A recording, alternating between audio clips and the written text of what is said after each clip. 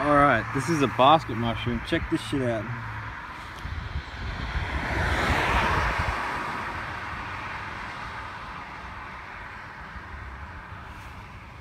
It's like something out of Alien.